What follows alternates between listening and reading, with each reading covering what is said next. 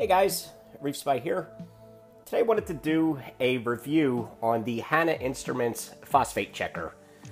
Uh, what I have here in front of me is the box that the uh, Hanna phosphate checker comes in, and this is the model of the unit that I will be reviewing today. Okay, so when you do order one of these, um, it comes in this cardboard sleeve, which you can remove and inside you will find um, a nice plastic hard case uh, for your uh, tester. So let's go ahead and open this up and see what we get. So inside of the case, um, you will notice that we get the tool itself. This is the phosphate checker. You will get two glass testing vials. They also do provide um, some uh, reagent for doing the tests. I forget how many they give you with the kit, uh, but you can purchase more reagents separately. And this is a box of 25 that I purchased, which I'll be using after those are used up. And they will give you um, an instruction card. You can see here. And you can see all the information on how it works and a procedure for performing your tests. Um, one thing which I will mention uh, is right here, this battery management section. Uh, if you notice on there, it says that the device will shut down after three minutes of non-use and two minutes um, after the measurement is displayed. Uh, I didn't realize this at first, and you know, your first time through, you may be, uh, you know, very carefully reading these directions and taking your time to do things. Uh, and what can happen is, if you're not conscious of the time, uh, the unit can shut itself off, and you basically will lose your readings. Um, so if you're not paying attention, you could finish the test, walk away, come back, and the thing is off, and you've basically missed your reading. So uh, definitely pay attention to the time when you're doing this.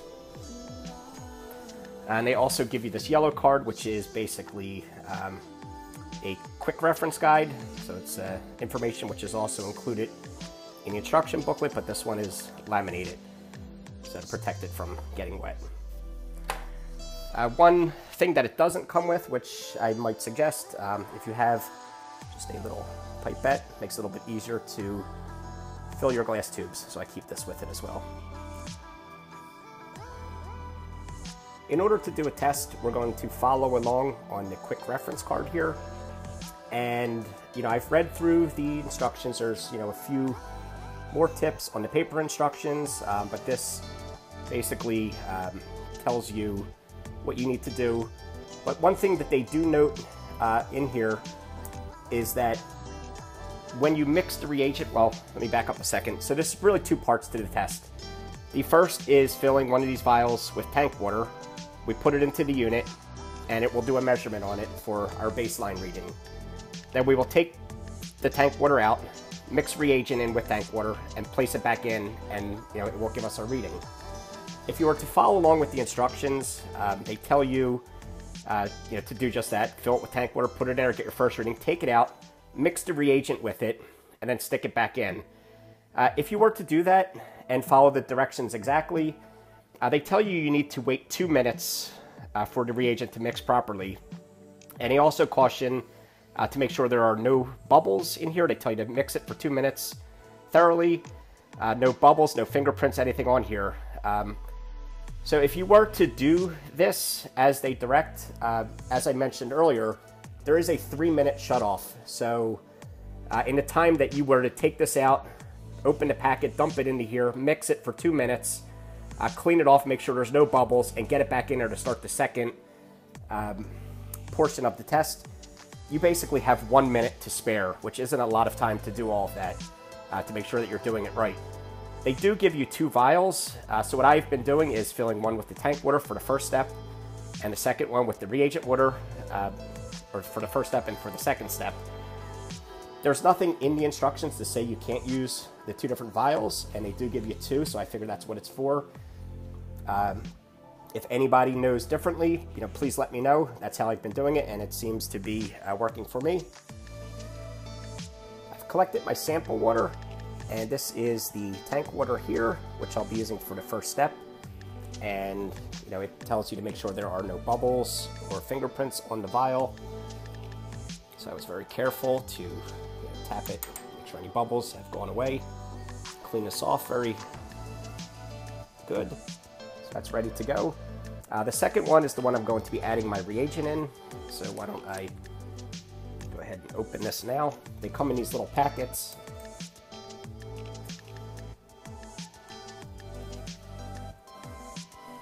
Which you can just cut open.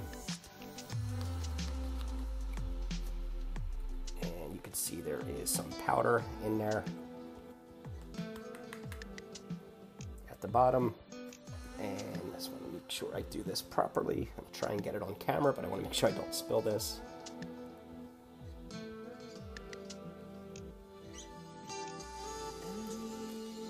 And you just dump it in there, and that's pretty much all of the powder out of there. To close this up. And it says to mix this for two minutes. So I'm going to go ahead and do that now and be back in a second. It's been two minutes and my reagent is now fully dissolved in the vial and I've made sure there are no bubbles or fingerprints on the glass. So we're ready to go ahead and do our test. So it tells us the first step is turn on the meter. Let's do that. And when we see add C1 and press blinking, the meter is ready. So we're going to take our unreacted sample and replace the cap. We've done that. Place it in the tester. There we go.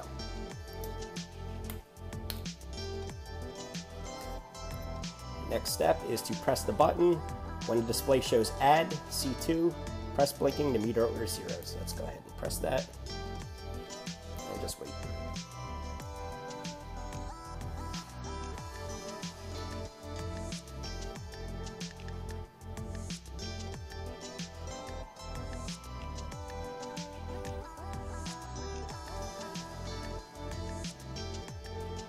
Okay, that step is completed. Uh, now it tells us to put the uh, reacted sample into there. Now on this step, it would have told us to go ahead and mix the solution uh, for two minutes, make sure there's no fingerprints, all that. Yeah, this shuts off in three, so you don't have a whole lot of time. Uh, so now we've got to press and hold the button until the timer is displayed. So let's take that sample out, put this one in, close the lid, press and hold the button for three minutes. Okay, it's going to take three minutes uh, for us to get our reading. So I will just leave this sit there and we'll just wait for that to finish.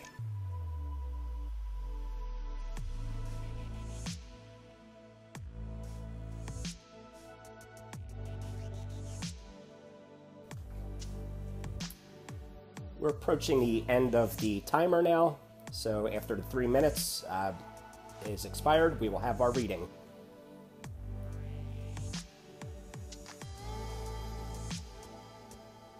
And it looks like we've got 0.0. Wow, I'm still running at 0.00 phosphates. That's, um, it's not surprising to me. I've always been testing at zero. Um, and I had been running, I have a lot of macroalgae in my tank. I have, I had GFO running um, in there as well, a lot of GFO. And, you know, I don't know if too little phosphates is a good thing, uh, but I did turn off my GFO reactor last month. I took the GFO out, and I was going to see if uh, my phosphates were going to rise, uh, and it looks like they have not. Uh, so it appears that the macroalgae that I have in my tank uh, so far is doing the job. And I could do without the GFO for now, because that's, you know, was in there to keep my phosphates low. And, you know, even without the GFO running, I'm still getting at 0.00, which is good. Um, I'm going to go ahead and do a uh, another test with my 25 gallon tank, and we'll see how the readings compare. these are the samples from my 25 gallon aquarium. The first test was on my 180 gallon aquarium. So I'm going to go ahead and just run through this quickly and see how the, um, the phosphates are in my smaller tank.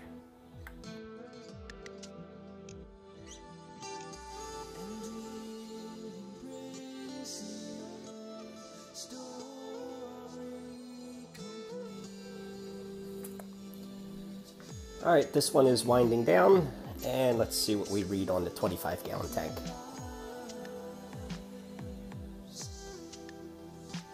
And it looks like I'm also zero phosphates on that tank, and uh, I know some of you are probably thinking, well, wait a minute, how do I know this is working? Um, is it accurate? Uh, well, the only way I can prove that uh, or disprove it is I also have uh, an API phosphate kit, which I'll just do a quick test on my 180 gallon tank and let's see how the results compare. In order to compare the results, I have taken a sample of the water from the 180 gallon tank and I'll test it with the API kit. Uh, it's a pretty simple test. Um, here's the instructions. You put six drops of the first reagent, shake the tube, uh, six drops of the second, shake it again. You wait three minutes for the color to develop, and then you can test the colors on here. Uh, the difference between using this kit and this one, this one is accurate down to uh, two decimal places. It's a highly accurate device, um, whereas this one, you know, the greatest variations you can measure are within 0.25, which is a rather large jump uh, for phosphates.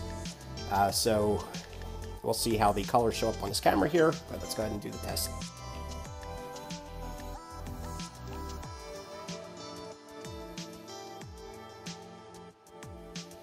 So three minutes have elapsed, and let's go ahead and check the colors.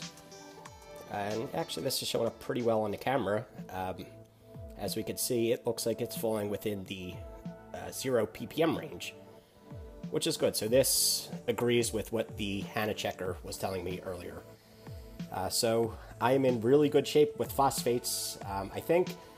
I don't know if they're too low. Um, I do think that you are supposed to have uh, some amount in there, which is why I went ahead and took my GFO offline uh, to see if these phosphates will, um, you know, increase to see what effect you know my GFO was having. Uh, but so far, uh, you know, I, they haven't risen since I've taken it offline. So I don't know. Um, but anyway, as far as the device goes, I think it's a good device. I do trust the results on it and um, it's fairly simple to use. Um, you know, once you get the hang of it, you can knock these tests out uh, right away. Um, it is, you know, much more accurate, you know, down to two decimal places um, compared to, you know, say an API kit, which you can only, you know, get readings within 0.25 range. Uh, so all in all, it's a good device. Um, the only negative I would say is the uh, your battery saving option, which is you know great. You do want that in there, but I think that the uh, two minute or three minute shutoff is a bit short for this device, uh, especially when it's telling you to take your readings and you know wait two minutes in between you know when you mix the one chemical into the glass tube. Uh, so you know you could do what I did is use the two different tubes, and you, know, you won't have that issue. But yeah, I'd recommend this device. Um, it's you know definitely one of those things you want to keep on top of your phosphates, especially if you're having uh, nuisance, nuisance algae problems. And, you know, I think that's um, about covers it for this. So if you guys have any uh, questions, um, any comments, uh, please, you know, leave them below. And if you like the video, you know, give me a thumbs up, hit the subscribe button, um, and, you know, I'll catch you guys on the next uh, video. Thanks for watching.